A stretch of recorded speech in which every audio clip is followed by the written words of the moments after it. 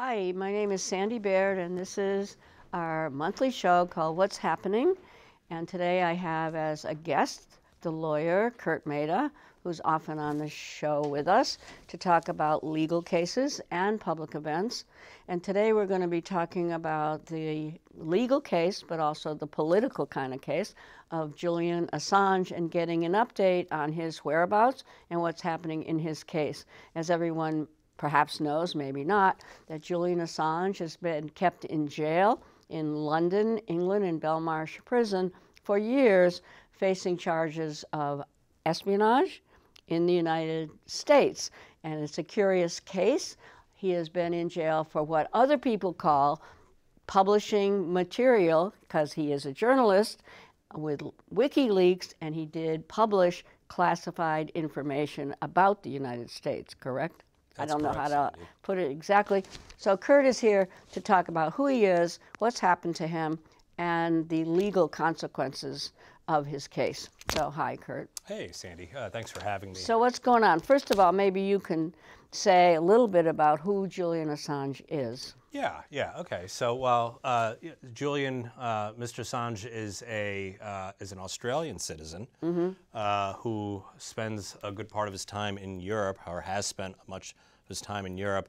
His uh, his background is uh, he's considered one of the world's greatest computer hackers since he was uh, in his early 20s, late teens. Uh, to provide some people context, uh, so Mr. Assange was, has been in and out of the uh, Australian legal system for crimes of hacking, but then he's also been resurrected in Australia in many cases because he also assisted law enforcement uh, in Australia to catch uh, pedophiles and people who were uh, accused of sexual molestation. And he did that with the Australian. Sure, uh, local dep- deputies, police, Uh-huh, in cases that they were working because of his masterful knowledge of uh, getting into um, encrypted computer programs. Mm-hmm. And this was when he was in his, er, you know, early to mid 20s. Uh, so, so bright guy in terms of his skills with respect to computers. Uh, and again, it has probably been on both sides of the legal system, even locally in Australia, as a helper, And an enforcer. uh, right, and also as someone who is claimed to have uh, breached uh, privacy and security protocols in Australia. Okay, so what's his? Why is he? He's in Belmarsh prison, a high security prison in London, right? That's correct. So how did he get there? What happened Okay, to so let's Assange? let's talk a little bit about the route Yeah, that uh, yeah. ended in in Belmarsh Right. for Mr. Assange. Uh, in 2006, uh, Mr. Asha- Mr. Assange uh, established a company along with a couple of other uh, journalists, mathematicians, Mm-hmm. uh, and um, some other. Um, social justice warriors, as they're called now. Mm-hmm. Uh, maybe that's a pejorative, but uh, to establish a company called WikiLeaks, a company. a company. Yeah. Uh-huh. The, the the the objective of WikiLeaks when it was formed, it was uh, the phil- philosophical underpinnings was to expose hypocrisy of government. of government and and corporations even occasionally, uh, where um, and and through that exposure, through the you know through the internet, through the uh, the online world, uh, to force change in behavior, Right. Okay. Right. and okay. hopefully to reduce Behavior of- abuse. governments, Governments, corporations, people, probably. yeah, and of course, people Mm-hmm. are you know uh, are involved in corporations and in governments. So it's to it's to effectuate change through exposure. So to reduce the amount of hypocrisy, uh, abuse, lies, uh, and hopefully by exposing you know powerful people in in the digital world now Mm-hmm. through the digital through digital means that that would effectuate change, Social change. social Right. change. Uh, uh, And that was called WikiLeaks. that's yeah. so that it was a called WikiLeaks. publishing sort of company Yeah, but completely online. You know, so they don't they don't issue uh, unlike Uh-huh. Penguin unlike a or, newspaper. or you know um, Simon and Schuster. Mm-hmm. They're not publishing books Mm. or newspapers. It's this is you know digital access. Okay. Yeah. And what they often did was they would get, sometimes by anonymous sources uh, or through tips, they would get uh, large hordes of information and essentially just put it out there to the digital world Right. for mass consumption. Basically, anyone who has a cell phone or a computer Right. or has access to internet would be able to um, learn about what was In prior times, yeah that would have been a, the function of newspapers, correct? That's like correct. like like somebody Media. would give all this in, right media, media absolutely you're right 100% But absolutely and it was never considered a crime for a newspaper or another media to publish it, correct? well uh, depends on where you're talking about That's what I mean. But I'm you're talking about. Under the law. I mean, Well, look, I mean, you know, could the New York Times publish uh, if they got a inkling in 1941 or two? Forgive me if I get the date wrong of what was going to happen at D-Day. Uh, if they got, you know, I, I, I don't think that would have been allowed uh, in advance of June 6th, you know, that year. But, uh, you know, but for the most part, uh, certain types of information was protected under the First Amendment of the United okay, States so Constitution. and if you wanted to challenge that that newspaper did something wrong, you'd have to go to court about it and allege something or other, and that might be a violation of the First Amendment, is what you're saying. Perhaps, yeah. Okay. Yeah. All right, so Yeah, there, are, there are exceptions. You know, one Yeah. of the charges against Mr. Assange is a violation of the 1917 law, the Espionage act. okay, Act. what is the Espionage the Act? Because it's still in effect. It, it is right? indeed, now, Sandy. in 1917, I imagine it had something to do with World War One. Right. Correct? good Okay, guess. what? Yeah, absolutely. So 1917, uh, the United States was about to gear up to Right. uh, get involved itself uh, into the actual ground, you know, fighting of the First World War. Correct. Right. And uh, there were there was an Socialist. anti-war Right. movement in the United States. Big one. Yeah, I mean some of the notable characters: Eugene Debs. Eugene Debs, Yeah. right, right. Also, a um, person who was convicted under the Espionage Act of 1917. So, the Espionage Act, the purpose of it was to foster an environment to prosecute World War I on the part of the United States. Critics. Well, Of the by yeah, well, foster an environment by you know placing uh, a uh, a gag order essentially on critics, like Yeah, you, like you said. correct, correct. Uh, so anything that could be perceived as a um, attempt to impact recruitment of military personnel, Mm-hmm. uh, to um, thwart military operations, and it's a, it's a very vague and Sure, broad sure. Like definition the of draft. what, what's considered th- thwarting Yeah, a military yeah. Operation, and of course, you know, aiding and abetting The enemy. perceived enemies of the United States during a time of war, Right. uh, specifically.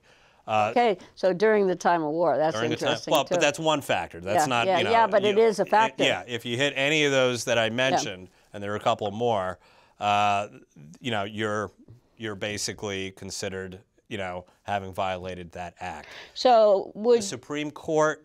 Uh, there was a case, of course, because one can argue. You know, we we have the Bill of Rights in this country, un, enshrined in the Constitution. Mm-hmm. The First Amendment provides us, you know, freedom of press, freedom of speech. Right. So one would think, well, I mean, that doesn't sound like very, you know, f- First Amendment y. Uh, so um, the there was a case at the time that went to the Supreme Court. It was called uh, Schenck versus the United States, and the Supreme Court of the United States at the time uh, decided that the Espionage Act of 1917 did not violate Right. the, uh, the the the First Amendment. and it stands today. and it stands today. Okay. And Mr. Assange is uh, in a two, 2019 indictment that was unsealed by the United States government. Unsealed recently. Yeah, 2019. Okay, it was unsealed. Yeah, okay. yeah. Uh, that uh, he he is um, accused of having violated the Espionage Act of 1917. Okay, how what is the U.S. position about how he did that? By publishing through Publishing. WikiLeaks. Uh, so let's talk about Yeah, what's a, a couple of right, examples of right, what he example. published. Yeah, Uh, give us- yeah. So in 2010, uh, Under the administration of who? Obama or At that time, uh, President Obama was the um, was the president was the of the United president? States. Okay. Yeah. Uh, in 2010, uh, WikiLeaks published a controversial video Yeah. showing the United States military, Helicopters. yeah, helicopters, soldiers from the uh, on helicopters shooting at uh, and killing 18 Iraqi civilians, uh, a few of whom were journalists. Uh, From for- Reuters. from Reuters, Right. Mm-hmm. right, right, right, no less. Yeah. And, and uh, Reuters is English. Reuters Right. is yeah it's, Yeah. it's a British company. Yeah. So at the time, the the, the military and the, and our government was claiming that this event did not happen. Uh, it was being exaggerated by detractors and opponents of the war, uh, and by the enemy. Uh, WikiLeaks was able to secure an actual video of the event. Uh, WikiLeaks also published in the same year uh, war logs from the Iraq um, war, as well as the war that was being prosecuted in Afghanistan to eliminate the Taliban. Yeah, because the U- U.S. But the U.S. Remember was not at war with either of those countries. It was involved in, I guess, I don't know, special operations or something. But we had not declared war anywhere at that point. in 2010. No, I mean, in fact, the last time the United States legally declared war was 1941 Right. in the Second World War. So that's one key difference, right? Sure. okay, so go sure. ahead. Uh, so these were some of the things that were published. Right. Uh, the war logs uh, during the uh, the Afghanistan Right. fight, as well as the Iraq invasion, and it often provided a lot of information that uh, contradicted what was being uh, released what? to the Right. public of the United States Like what? the, the, uh, the in terms of how well the prosecution of the war was going, in terms of how well allies were performing uh, in the prosecution of those wars. Uh, simple example in the case of Iraq, well, and Afghanistan, uh, there was information about how surrounding countries were adding to the insurgencies in those two countries, uh, insurgencies against United States, the United States Armed, Armed, Armed Forces. Uh, In the case of uh, Iraq, there were, were disclosures about the involvement of Iran in um, under, you know, girding, supporting the uh, insurgency on the streets of Baghdad. And in the case of Afghanistan, there were allegations of support from Ira- Iran also and Pakistan uh, with respect to supporting and propping up the Taliban and providing and right. sharing intelligence.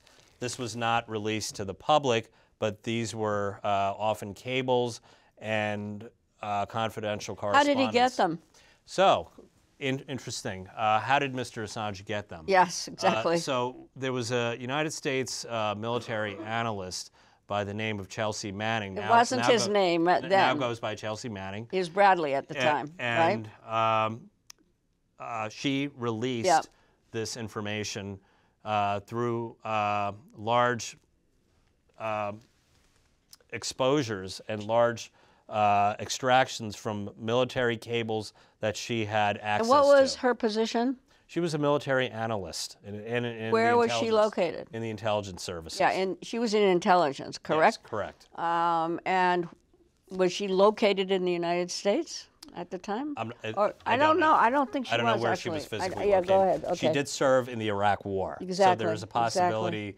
That uh, she was on the ground somewhere in the Exactly. Middle East. Exactly, Right. Right. I think she was. But anyway. Yeah. But she was an American, She was an American citizen. Yeah, and yes, yeah, uh, r- it was a leak. correct. It, you know, a lot of journalists Yeah. receive leaks. right. Correct. They have their confidential sources. Exactly. Sometimes they're anonymous. A lot of times. A lot of times they're anonymous, Yeah, so that the to protect that leaker. Of course. Okay, of so course. she then transferred that material to Julian Assange, at WikiLeaks. Right. WikiLeaks, Right. and he then published it He published it. without comment or with comment. Uh, my understanding is without comment. Okay, so what then happened to him? Well, And the- where was he at the time? Do you know? he was in Sweden. Right. Right. Right. Okay, go on. Uh, so, uh, for you know, maybe it's just bad luck, but uh, uh, maybe it's ironic. But the same, within the same time frame of publishing the Iraq and Afghan war logs, as well as the video of the uh, the 18 Iraqi civilians being shot from a helicopter, uh, Mr. Assange was accused of rape in Sweden, and there was an arrest warrant that was issued for uh, an investigation uh-huh. uh, about two two possible rapes or sexual molestations that he was involved with. Uh, he was placed on bail. He Was he ever formally charged? Do I don't know? I don't, recall think if he was so. I don't think so. I think the women dropped it. It was an investigation. Yeah, it yeah, was an investigation right. that was going on. Uh, so perhaps he wasn't formally charged. I don't think he ever In was, right. 2019, the charges were dismissed in Sweden. right. Uh, but in 2010, uh, he skipped bail. He was placed on bail. He skipped bail and went to England and sought refuge. I interrupt you? Yeah. Why? Was he suspecting something was going to happen to him in Sweden that he was trying to avoid? It's tough to tell. I Yeah. mean, if you know, you take one side, and if he was indeed responsible or involved in, uh, you know, these assaults on women, perhaps he was just trying to escape. Uh, the other side of the argument, you know, is that maybe he thought that this was a falsified charge, and and and an attempt to uh, essentially target him and, prosecute him. And, Uh, and my, I remember reading somewhere, and again, this is an allegation, Yeah. that the reason he did that was he suspected that Sweden would extradite him to the United States. Yeah.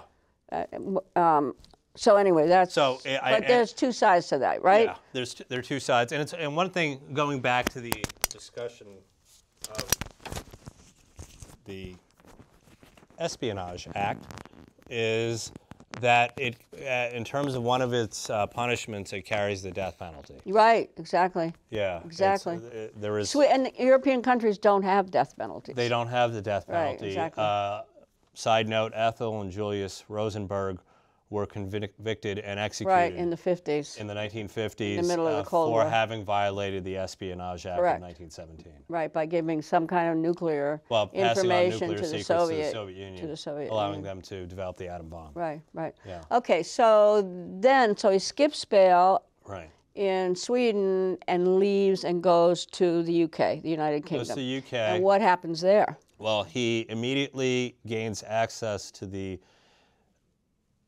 Ecuadorian embassy, Embassy. To Great Britain. Exactly. Now, why?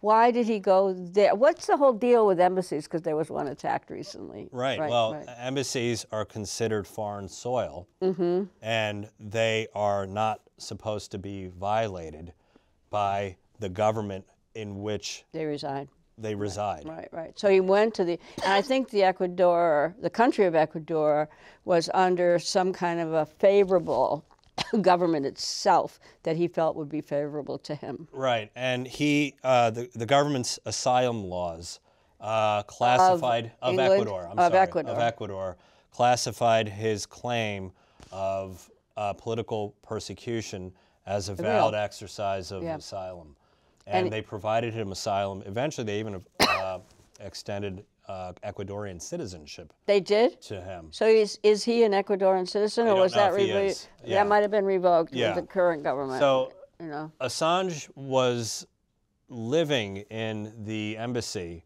for eight years.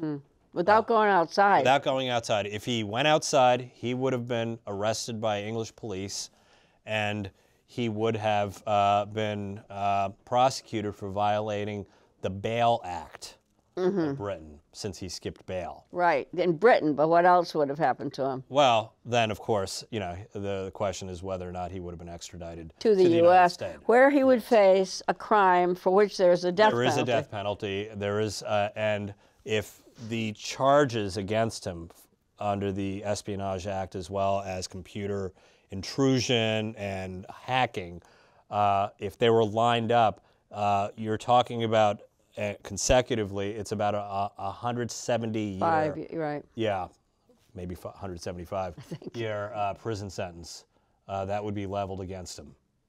So he, what happened then? He was in the Ecuadorian embassy until 2019. 2019, Yeah. and then what happens to him? So in 2019, uh, Ecuador uh, change in leadership, change in To views. Unfavorable. To a government favorable to the United States, I think. right, uh, and the United States again was put, putting a tremendous amount of pressure on all of these countries involved right. to have him extradited To the States. to the United States. Yeah. And uh, Ecuador rescinded their asylum case, uh, our offer of asylum.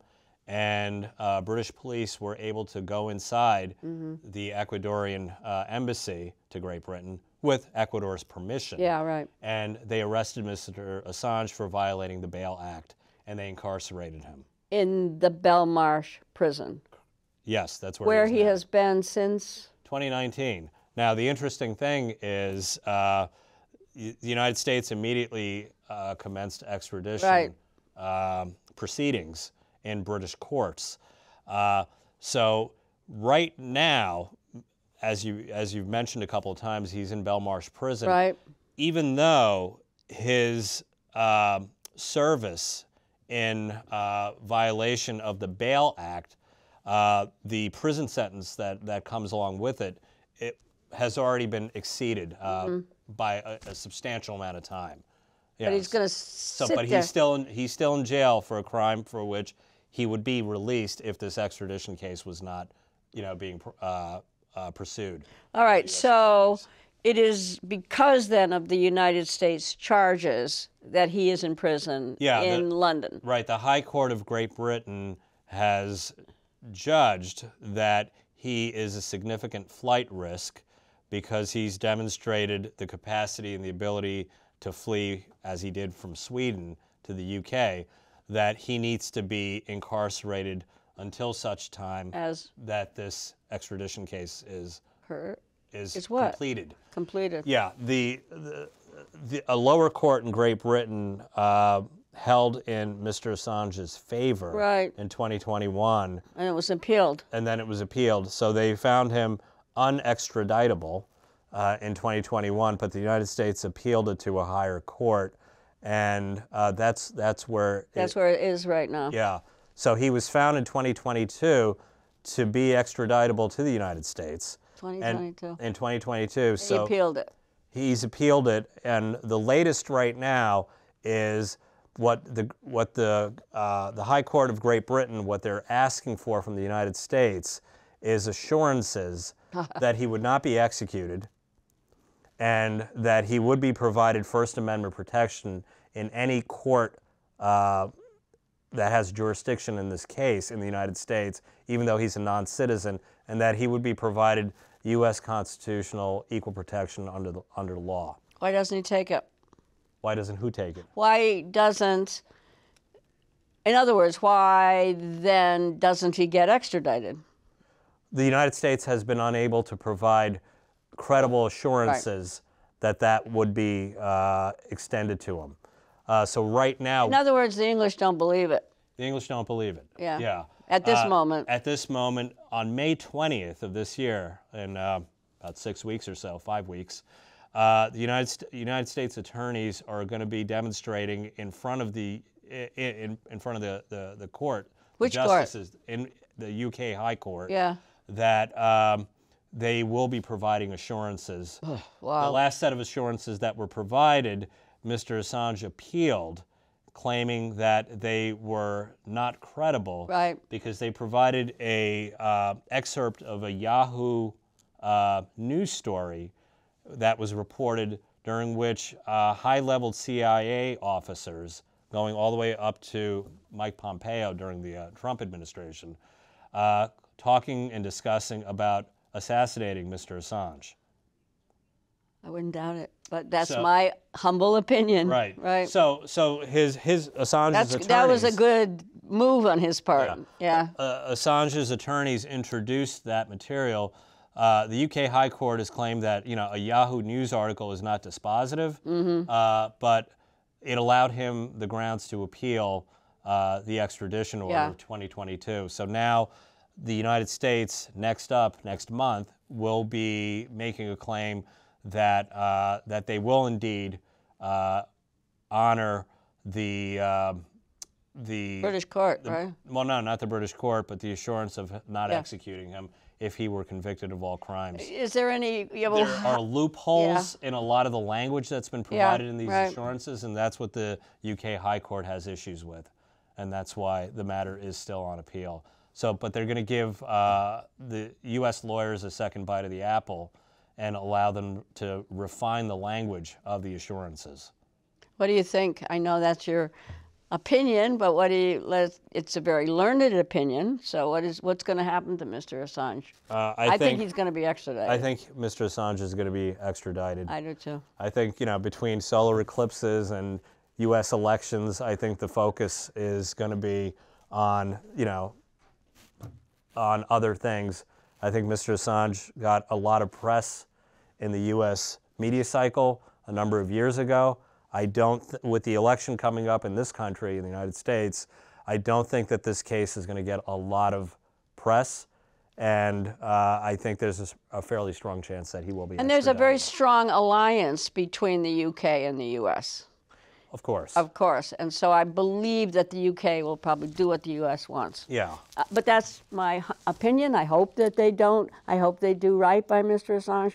But my opinion is that that alliance is too strong. And Yeah, one of the comments that Mr. Assange has made over the years is the incredible amount of uh, pressure the United States Yeah. is able to put on its Western European allies correct, right? uh, in uh, every man in every way. in every matter. Right, In exactly. one case, when there was an allegation that Mr. Assange was on a uh, on a, on a on a plane with at that time Bolivian, uh, Bolivian President Evo oh yeah. Morales. Was Assange on that plane too, It was or was it Snowden? Snowden. I'm It was sorry, Snowden. Yeah, right. Snowden. right. Yeah.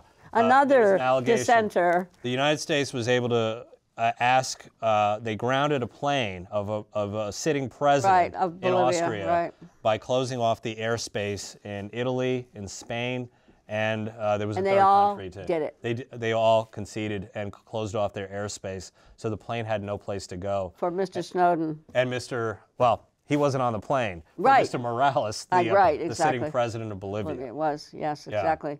So, So we have a couple minutes left. So, in your opinion, in the end, uh, you believe that he will be extradited? I think he'll You- be Will he face the death penalty? I don't believe he'll pr- face the death penalty. However, I he will his, face his, how many years in jail for this non-crime? Um, in my opinion, it's a non-crime. I, I think there's a strong chance that Mr. Assange uh, will not Ever see the light see of the day? light of day outside of a, a jail. He's already suffered a stroke, Has he? yeah, and during a court proceeding. During a court proceeding. uh, During a court proceeding before the UK High Court, and he's on stroke anti-stroke medication. He's uh, for health. for a waiting period for an extradition case uh, after he's already served his time for violating the Bail Act in Europe. Uh, he spends 23 out of 24 hours in a maximum security know. prison. He gets one hour of exercise. Does he ever see anybody? He must have. He's got kids. Yeah, his his his I think that they were fathered in, uh, in the, when he was in the Ecuadorian embassy, though. yeah his uh, his attorney is his spouse, Yeah, uh, and he has two children, uh, t- two kids with her. yeah, right. Yeah. Well, thank you very much, Kurt. I hope that I wish Mr. Assange well, and I hope you're well too. So Thank we'll you, see you in Sandra. about a month. Thank you for watching.